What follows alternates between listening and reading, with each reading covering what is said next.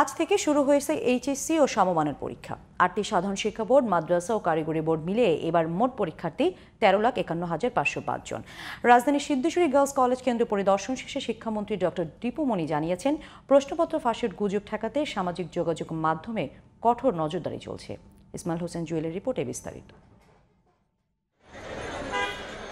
পরীক্ষার আগের রাতে রাজধানীতে ঝড়, আর তাতে বিভিন্ন এলাকায় বিদ্যুৎ বিভ্রাট।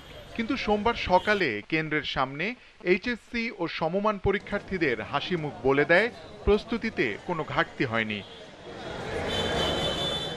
ইলেকট্রিসিটি সমস্যা হয় নাই প্রিপারেশন যেহেতু আগে থেকে নিয়ে রাখছি রিভিশন শেষ করে রাখছি তো প্রবলেম হয় নাই কোনো যে প্রশ্ন ফাঁসাতেছে না লেভেল মানে সব সমান। কোনো ধরনের প্রশ্ন ফাঁস হয় না এবার কম্পিটিশন তাহলে ভালো হবে।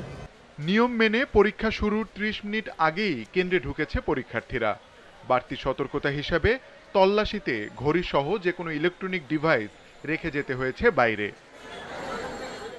এবার মোট তেরো লাখ একান্ন হাজার পাঁচশো পাঁচ পরীক্ষার্থীর মধ্যে এইচএসসিতে এগারো লাখ আটত্রিশ হাজার সাতশো সাতচল্লিশ, ভোকেশনালে এক লাখ চব্বিশ হাজার দুশো চৌষট্টি এবং আলিম পরীক্ষায় অংশ নিচ্ছে আটাশি হাজার চারশো একান্ন জন।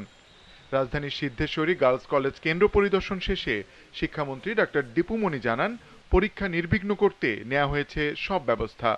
গত এসএসসিতে যেখানে যেখানে ছোটোখাটো ত্রুটি বিচ্যুতি চোখে পড়েছে, আমরা সেগুলো কিন্তু সেগুলো আবার যেন আমরা সেগুলো উত্তীর্ণ হতে পারি, সেগুলোর চেষ্টা এবার নিয়েছি।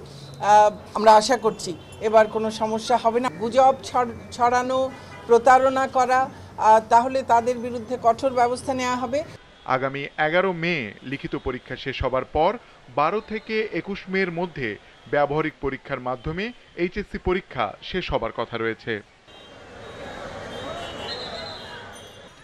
জুয়েল জিডিভি নিউজ, ঢাকা।